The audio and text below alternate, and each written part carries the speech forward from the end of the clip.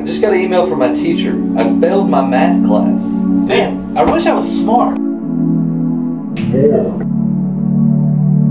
I got you. This is the perfect solution. Hello, I'm Rick K22. This is my Morty. Wow, did you know the entire number of pi is 3.1478911. Whoa, that has 5 million views? Saran Wrap has 3? Oh, yeah, I know what I'm doing. Chris, I was thinking about robbing a store. You can't do that. You'll get shot, Jimmy. I'm white. Hmm? There are singles in my area? Eh, why not?